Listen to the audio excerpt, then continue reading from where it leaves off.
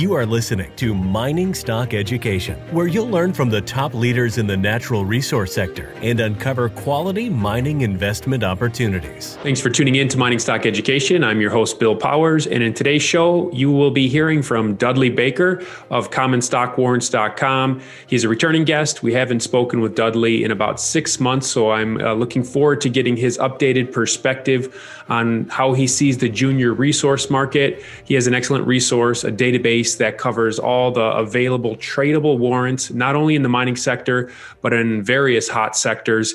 He also covers this whole movement and the warrant tradable warrants that are available with these SPACs, these uh, special purpose acquisition companies, as this market has been very hot for the last year. So, with that, Dudley, welcome back onto the show. And since we last spoke uh, about six months ago, uh, the mining sector obviously was a lot hotter back then. But in this uh, six to eight months of trending downwards and a little bit sideways, how have you been managing your own portfolio? I'm still a buyer. I'm a buyer. No, welcome. Uh, I'm glad to be back with you, Bill. Yeah, no, it, I think anybody with cash right now just really has to be looking for opportunities. And I'm gonna I'm gonna kind of really briefly showcase like five different uh, names, and I'll give you the symbols, guys. And so, uh, if you got a pencil, you know, uh, get ready. It's going to kind of be bullet points here. But I think these are five really interesting situations in the in the junior space. And I think that's prim- primarily where our, our listeners are coming from and, and the level of interest here. The first one I want to mention is ARIS, A R I S Gold, uh, symbol ARIS, now on the Toronto Exchange. The company itself is interesting uh, selling at two dollars and uh, twenty six cents. They have a, a, warrant that's got about a four and a half years remaining life. That's uh, closed yesterday at eighty two cents. Uh, this is formerly Caldas Gold. We are now down in Colombia. They did uh, in early April, uh, February a name change, a management change. Gran Colombia Gold still owns approximately 50% position in Aris but now we got Ian Telfer came in, a really savvy group out of Vancouver came in and said, we want to, in essence, in my my language, they wanted a piece of the action. And they came in and now they are heading up the management. And I just think what a cool story this is for power players in the business. And here we got this little uh, producer already down in Colombia if you don't like the warrant, you buy the common for two dollars and twenty six cents. The warrant is is roughly uh, eighty eight cent, eighty two cents. Uh, I'd say just put it on your radar screen. You got about a four and a half year remaining life. Pretty interesting story. The the second one uh, is is called Gold Mining Royalty. Now, gold mining. Uh, you know, it's headed up by Amir, uh, GOLD, on the Toronto Exchange. They did a, a spinoff, one of their subsidiaries uh, went public on the New York Stock Exchange just within the last week or two. And it's called Gold Mining Royalty. Symbol on that one is G R O Y. Again, we're on the New York. Interesting thing for me, they had a warrant attached to that offering. So a three year life. So the offering was at $5. Uh, the common is, is still trading just shy of, of $5. Uh, the warrants got an exercise price $7.50 with a three year life. So again, if if you like that story, that that's of interest to me. Uh, I would like to see the warrant less than say 82, 88 cents, but I've got my eye on it right now. In, in these soft markets, there's no telling what's going to happen here in the coming days. Uh, two other ones that uh, that are just companies uh, that without warrants. You know what I call my gold subscribers and my lifetime subscribers. They get to see my entire portfolio. And so uh, some of them may scratch their head and said, Dudley, what the hell are you doing here? What are you doing there? I mean, why would you be in this? Okay, so the first one is called New Range, R A N G E Gold, New Range Gold. The symbol is NRG on the venture.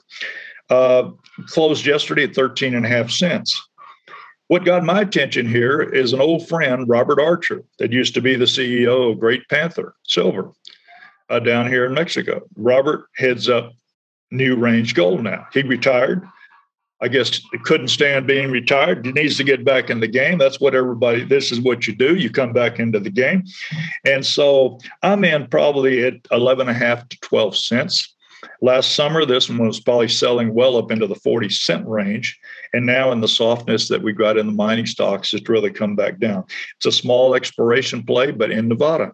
So, again, I like the story, I like the management and that's what I normally do. I follow the management teams, and all the management here has got nice, really nice positions, personal positions in in the shares of New Range. The other one that probably a lot of people have heard the name is Orex, O R E X Minerals. Uh, symbol is REX on the venture. Closed yesterday, 16 cents. Uh, Eric Sprott has over 50% ownership of Orex. And right now, uh, same way, last August or so, this was probably in the 50 cent range. And now you can buy it at 16. It's like, and nothing's happened. This is just like an incredible basket of exploration plays. Uh, a lot in Mexico. I think we've got a few up in Canada, but basically a lot of a lot of activity going on with this little Orex mineral, minerals. And I always look at it, any of these things that I'm talking about that are down in the pennies my upside objective, I'm always the guy that's looking for 10 baggers, potential 10 baggers. So I can easily see this at a dollar, two dollars in a rip roaring market, you know, with Orex, same way with the new range gold. I just see that we could really have the potential to make a lot of money in buying something really on the cheap here. First thing I always do is always look at a long-term chart. How what is the longest chart you can get on any of these names I'm looking at? And you can see yourself where they've been historically. You can see the lows. You can see what, what's the peak back at the like last uh, was it 2011 or so, and see how high these actually went. Get a gauge. Then the question always, well, do you think you could do it again? Well, maybe so, maybe so. But at least we got a target that we're looking for. And the last one, the warrant has an, there. There's that it's Aurania. A U R A N I A resources. They've got a project down in Ecuador they uh, ARU uh, is the symbol. Uh, there's one warrant trading right now. They're doing a placement uh, almost as as we speak. It's, it's going to be closing uh, April the eighth, and there will be a, a new warrant attached to this uh, this offering, and and that will have a three year life and so it's always hard to anticipate what's it going to what's that warrant going to sell for? Is it going to be a good deal? Is it not going to be a good deal? We'll really only know as as the market starts you know once that deal closes and the warrant starts trading then we'll kind of have a feel of what's happening. But that's uh, that that's one in real time that just hasn't been uh, hadn't come out yet but worthy of, of putting on a, a radar list uh, for anybody. So anyhow five that uh, Auranian is the only one that that I do not have a current position in, and I'll be looking at this new warrant when it does come out. And you have no business relationship with any of those companies, right, Dudley? No business relationship. I just, uh, yeah, I, would have to say I just kind of love the management, uh, and I've got positions uh, in in all of those top four, that the first four that were mentioned, and I'm really comfortable being a either a shareholder or, or a warrant holder on all of those.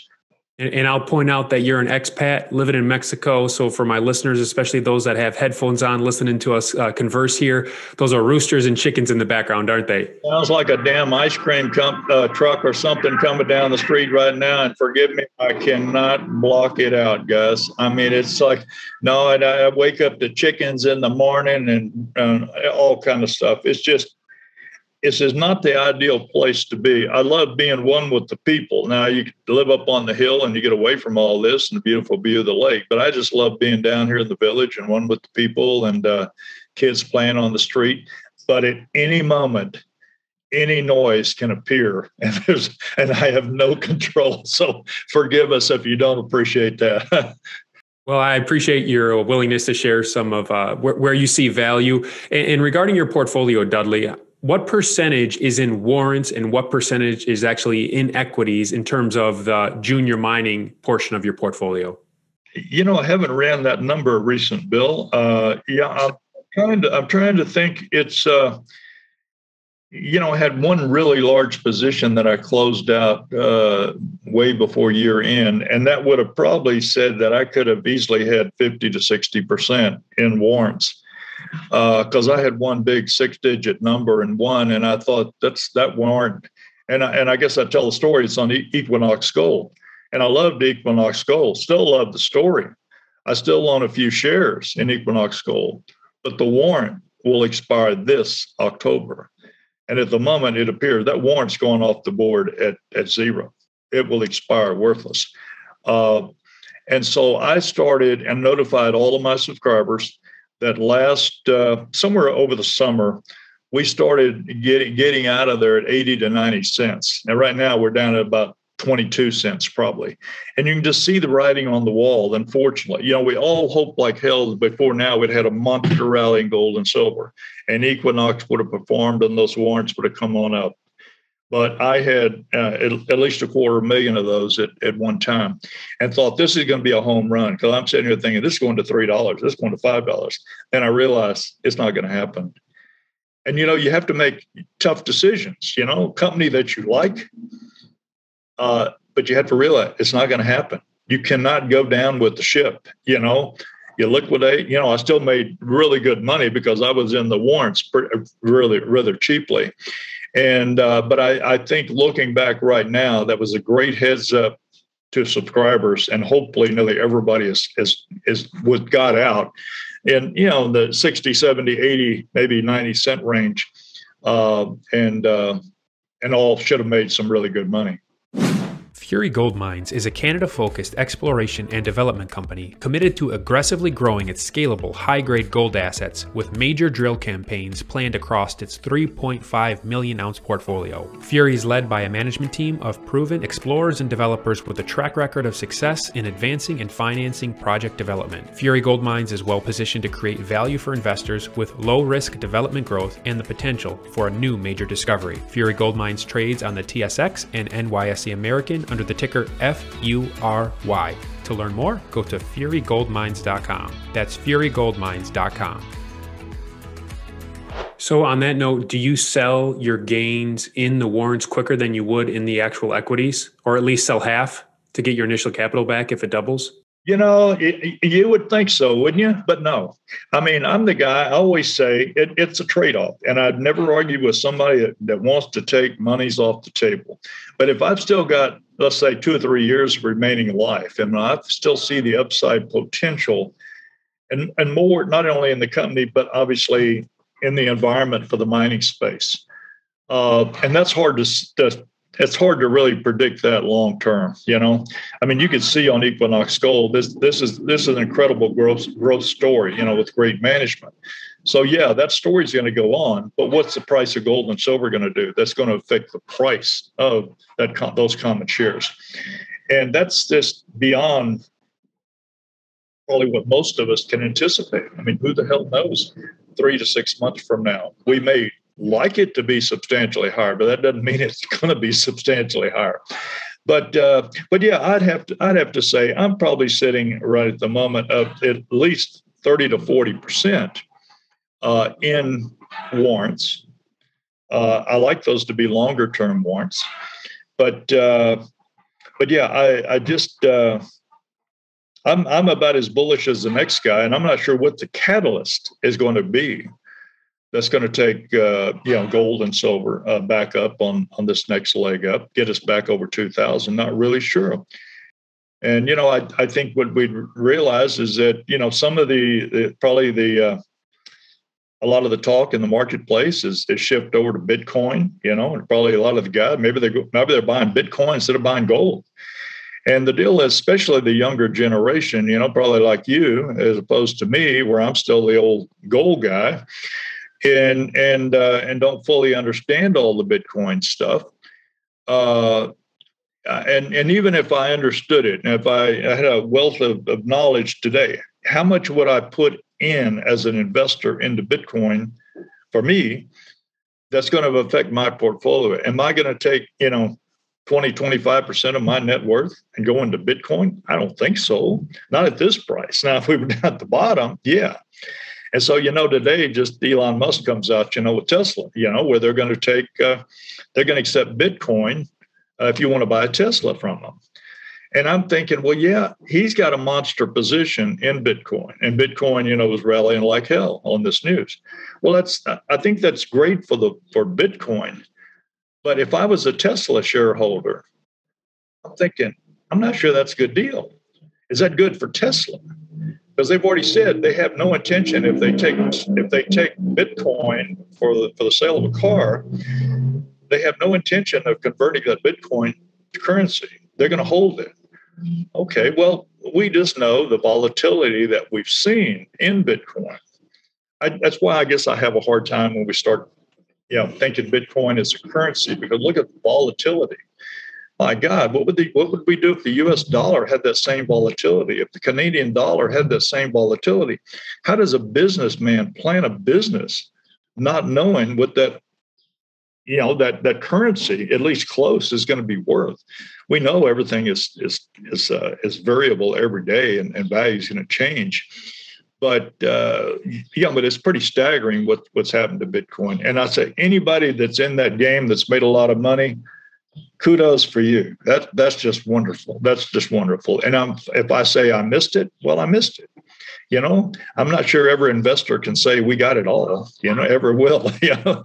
But but there is an interesting story here is that maybe the younger players are going to bitcoin maybe they're just taking some of the big interest off of the gold and silver. Uh, I'd like to think before the end of the day, everything's going to get back into balance, and gold and silver will have their recognition uh, once again, and we'll still have a big upside potential. Well, Dudley, could you give us an update on the SPAC market? That's something you cover, and then like some of the gains, example gains that you put on your website are astounding. You know, thirty-five per, times your money in a year on some of these warrants on the SPACs.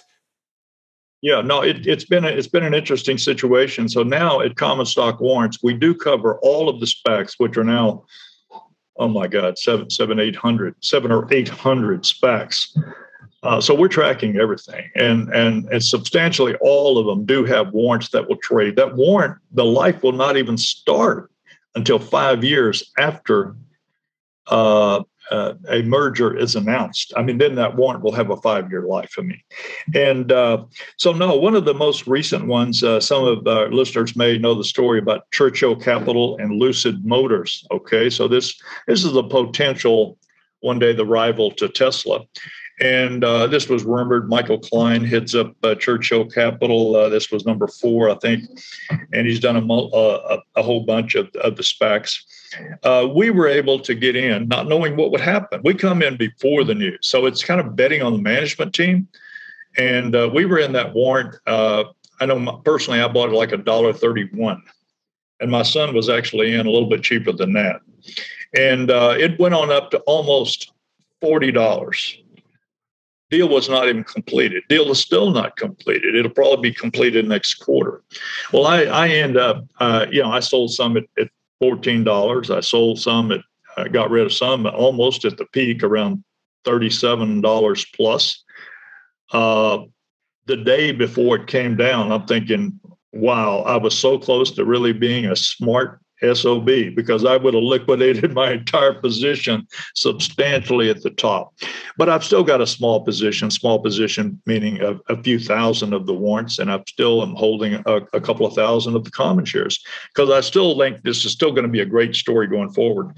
But when you had the opportunity, let's say with us and and and they're in quote this math, mathematical basket that we calculate every day so this churchill capital happened to be in the basket uh, flagging, I mean, flashing, buy me, buy me, buy me, not knowing what was going to happen, but it met all of our mathematical ratios that my son has developed. And uh, and yeah, then then the rumor started, and then it took off, and then it got confirmed. And uh, but yeah, to to be able to buy anything like that, just say in the dollar thirty range, have the potential other friends bought it. They they kind of panicked. You know, some panicked early at around nine dollars, ran it up to fourteen. Somebody sold at fourteen, and then it, then it doubles again. You know, or triples. It's like you yeah. So nobody has the holy grail to know exactly what's going to happen. Uh, but the deal is, it, if you're in, it's all about buying at the right price. You know, whether whether this is now a, a SPAC or the warrants on the SPACs, whether this is a mining company, you basically got to be in on cheap. You got to look at a chart and feel like you're in at a great price so you can get a big multiple. This story develops like you want, you get the big multiple.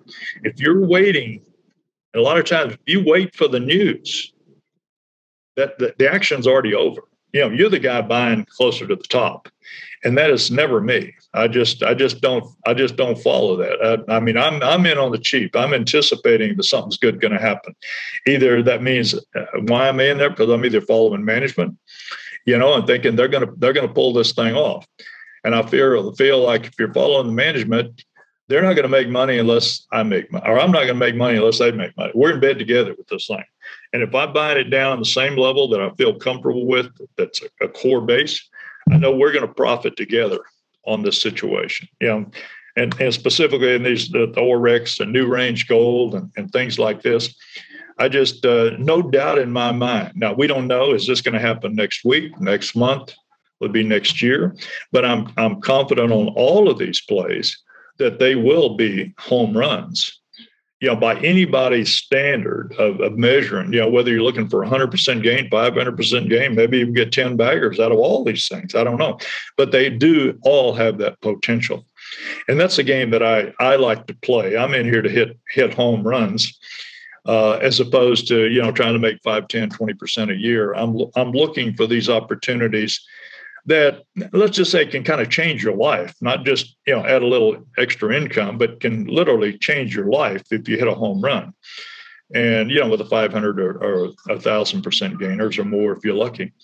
And uh, yeah so that's uh, i like to think that we're going for home runs. Everything i look at we're going we're going for the fences. You're going for grand slam dudley you're not going for home runs you're going for grand slams here right grand slams but it's amazing through the years how many of these you you, you do get and and you're and you so it ends up paying off. And not all of them will be the grand slam. Maybe you'll end up with a lot of doubles and triples out of here you know and that's okay too you know so yeah no exactly. No it's it's rare. And the only way you kind of strike out doing the warrant game is that if you hold it too long, you know, and like with the Equinox Gold, that's just the best example in the world Love the company, love the management. Uh, it's going to be a growth story for a long time. But that damn warrant that started with a five year life is going to go off the board at zero.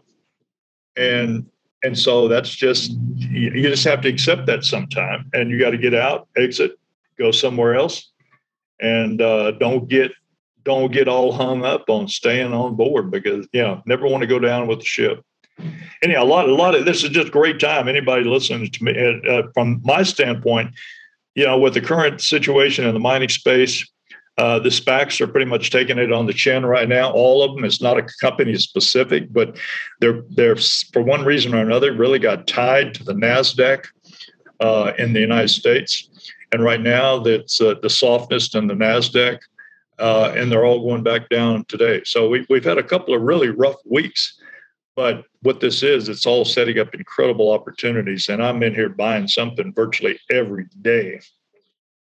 Excellent. Well, if you're intrigued by what Dudley says, head on over to his website. It's commonstockwarrants.com, and you'll find more information about what his service offers. And you'll see he posts on the homepage there a lot of the success stories that we've talked about, whether it's the mining sector or the SPACs, were 35 fold in a year, which is uh, quite amazing. And Dudley, any anything new over there you want to point out before you, we conclude here? No, no, just just just just opportunities, opportunities everywhere, in in my opinion. So just, uh, but I'm excited. I'm always excited because I find opportunities everywhere.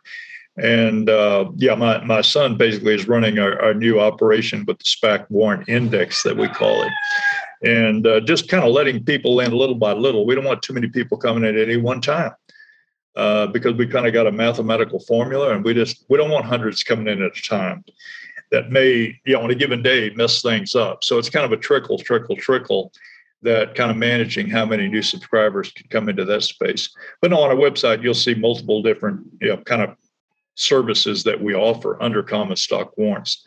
But uh, no it's, it's it's fun time interesting time to be uh, an investor with some cash right now all right. Well, thank you for joining me today, Dudley. Much appreciated.